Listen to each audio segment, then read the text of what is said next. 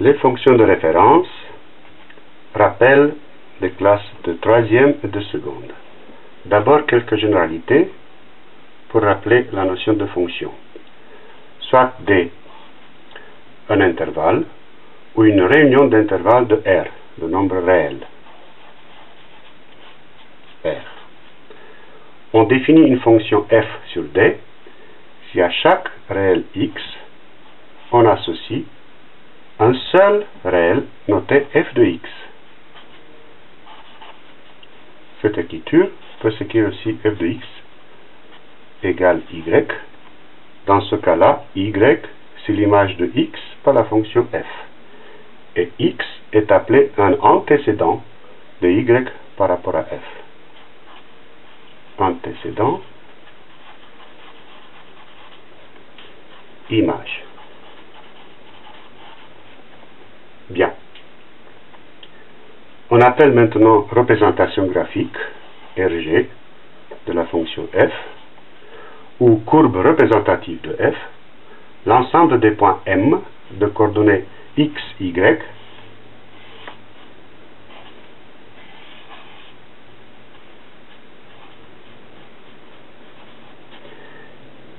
tel que x appartient au domaine D et que y égale f de x. Vous avez ici une courbe représentative de la fonction f qu'on vient de définir. N'importe quel point de cette courbe a les coordonnées x, f de x.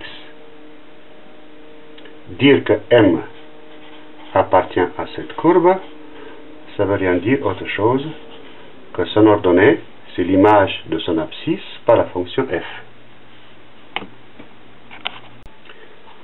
Avec les fonctions, nous pouvons faire des opérations. Soit u et v, des fonctions définies sur un intervalle i et soit k une constante réelle.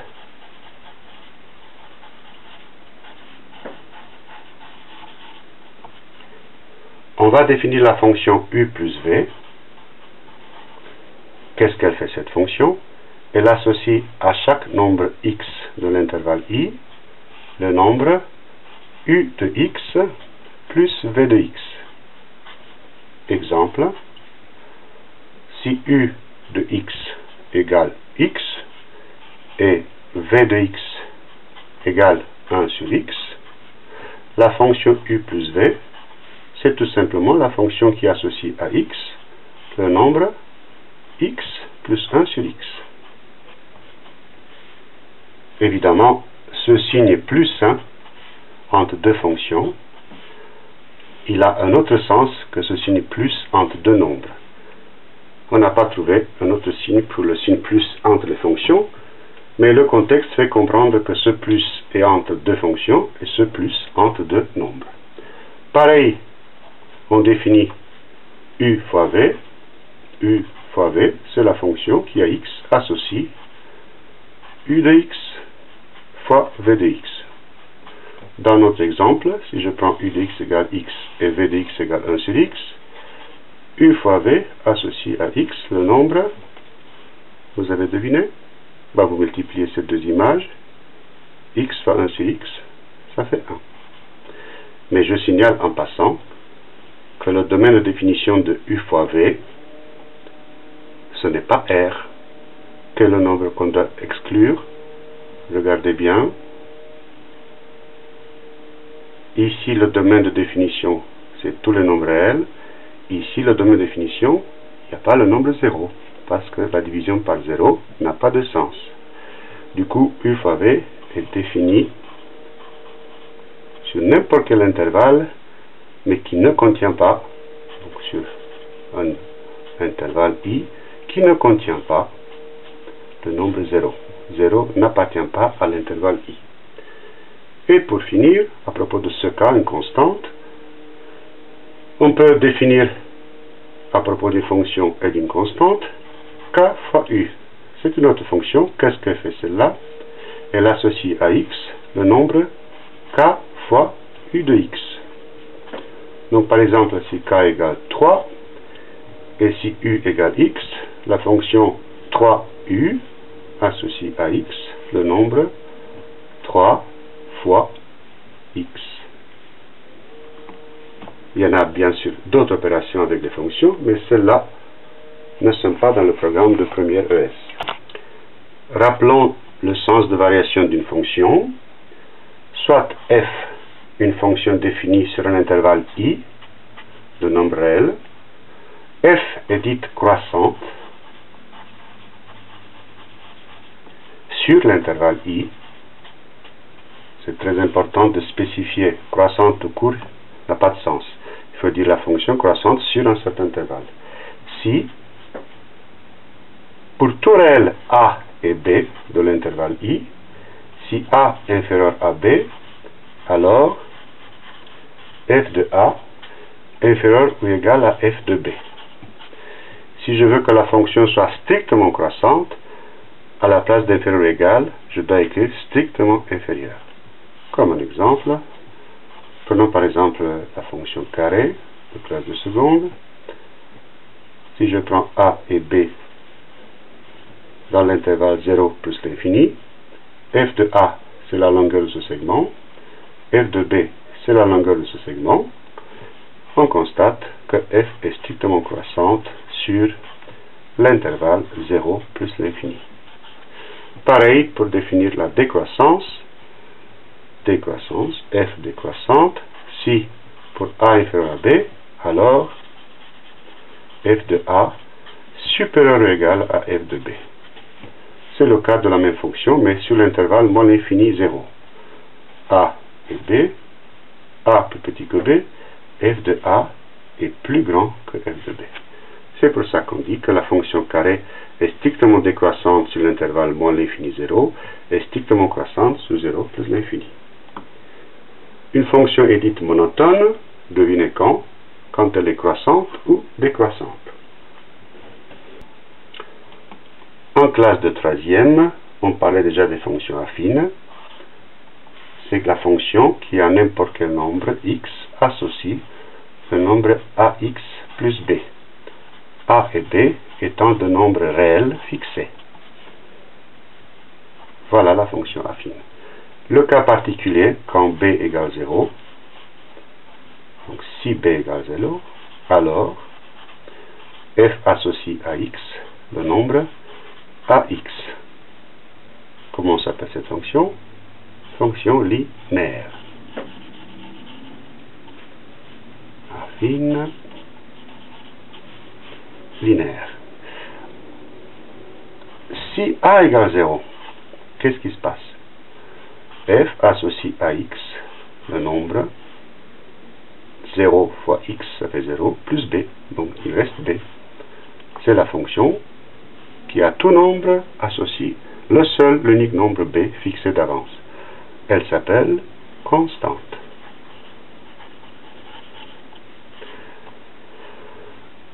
À propos du sens de variation, quand a est positif, la fonction f est strictement croissante. Quand a est négatif, la fonction f est strictement décroissante.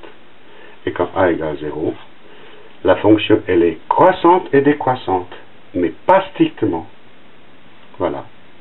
C'est pas un paradoxe, c'est la réalité. C'est pareil pour le 0 qui est positif et négatif à la fois, dans la tradition française. Je rappelle la RG, donc pour A positif, on a une droite qui monte, autrement dit la fonction est strictement croissante. Quand A est négatif, on a une droite qui descend. Quand A égale 0, f de x égale b, on a une droite parallèle à OX. Voilà tout ce qu'on peut dire sur les fonctions affines, linéaires et constantes. Mes préférées sont les fonctions inverses et homographiques. Pourquoi? À cause de leur représentation graphique. La fonction inverse définie sur tout intervalle qui ne contient pas 0, parce que 0 annule ce dénominateur, et là la représentation graphique formée par ces deux branches d'une courbe appelée hyperbole.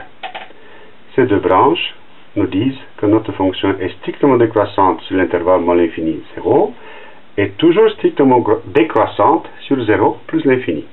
Mais elle n'est pas strictement décroissante sur tout l'intervalle de moins l'infini à l'infini excepté 0. Ce qui est intéressant, c'est que ces branches s'approchent indéfiniment des deux axes de coordonnées sans jamais les toucher. Les comportements asymptotiques qu'on va étudier en terminale. Pour la fonction homographique, ce qui est intéressant, c'est qu'elle a la même représentation graphique que la fonction inverse, mais seulement les asymptotes ne sont pas forcément les axes des ordonnées, ni abscisse ni ordonnées.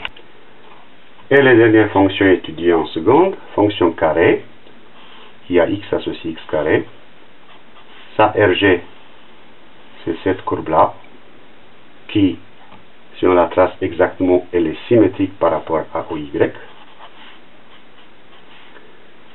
Et pour la fonction polynôme du second degré, c'est toujours une courbe comme ça, qu'on appelle parabole, mais qui est décalée vers le haut, vers le bas, les études qu'on va compléter cette année. Par exemple, elle est comme ça.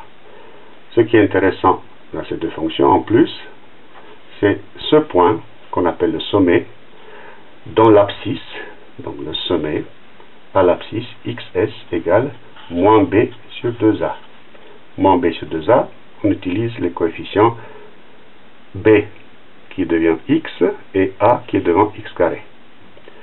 Donc la fonction carré, elle est strictement décroissante sur moins l'infini 0 et strictement croissante sur 0 plus l'infini.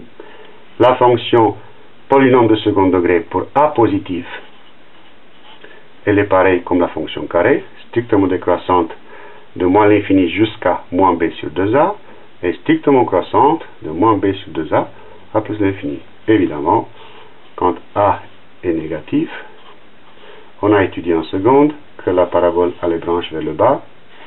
Du coup, cette fonction est strictement croissante sur moins l'infini jusqu'à moins b sur 2a. Et sur l'intervalle moins b sur 2a plus l'infini, elle est strictement décroissante. Constatez toujours qu'il y a une symétrie ici, symétrie axiale par rapport à l'axe de droite, la droite x égale moins b sur 2a, on dit la droite d'équation x égale moins b sur 2a, pareil ici, et ici l'équation x égale 0. Et les nouveautés de première ES, la fonction racine carrée, c'est la fonction qui associe à chaque réel x, positif ou nul, le nombre racine de x. Donc elle est définie sur l'intervalle 0 plus l'infini. Bien sûr, elle peut être définie aussi sur un intervalle plus petit qui est inclus dans cet intervalle. Et la fonction cube qui a chaque x associé x au cube, bien sûr, elle est définie sur R. Parce que pour n'importe quel nombre réel, on peut l'élever au cube. Les représentations graphiques pour la fonction racine carrée, si on prend un tableau de valeurs et puis beaucoup beaucoup de valeurs, on les relie, on constate qu'on obtient une courbe à peu près celle-ci. On va voir en terminale que la parabole qui est là et cette courbe qui est là, ben, elles ont de drôles de propriétés. Si on les met l'une sur l'autre, sur le même repère, ben, elles sont symétriques l'une à l'autre par rapport à une droite. Donc la fonction racine carrée et la fonction carrée sont des fonctions parentes. Elles ont une parenté entre elles. Tandis que la fonction cube, avec laquelle on finit, elle est toute seule,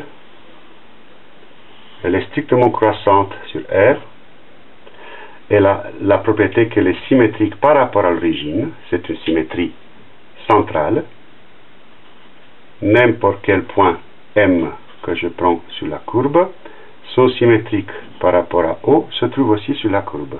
Et cela à cause de f de moins x égale moins f de x.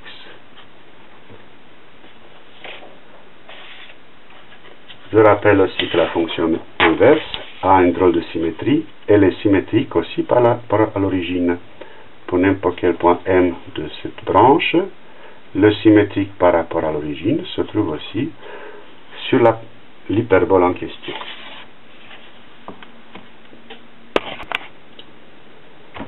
Les solutions de cette équation sont où sont-elles? Regardez la courbe représentative de la fonction f, regardez la courbe représentative de la fonction g, le bon sens nous fait penser à ces deux points-là, où les deux courbes se coupent. Alors, on a ici un point, l'abscisse de ce point, on va l'appeler x1, l'abscisse de ce point, je vais l'appeler x2. C'est tout à fait évident que f de x égale g de x a comme solution x1 et x2. Autrement dit, les points M et N ont comme abscisse x1 et x2. x1 et x2 sont les solutions de l'équation f de x égale g de x. Quant à f de x inférieur à g de x, aussi le bon sens nous dit, regardez CG, regardez CF, où est-ce que f est en dessous de g? Autrement dit, où est-ce que la courbe de f, elle est en dessous de la courbe de g? La courbe de f en dessous. C'est clair que la courbe de f est en dessous de g sur cet intervalle. Donc, tout cet intervalle de x1 à x2, comme c'est strictement, donc c'est l'intervalle qui exclut 1, x1 et x2, tout cet intervalle, c'est la solution d'une équation f de x inférieure strictement à g de x.